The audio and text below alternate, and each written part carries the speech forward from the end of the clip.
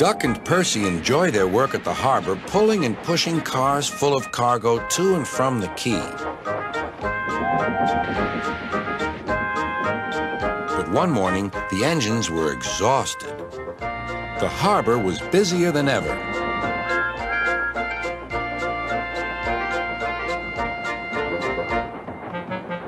Sir Topham Hatt promised that another engine would be found to help them.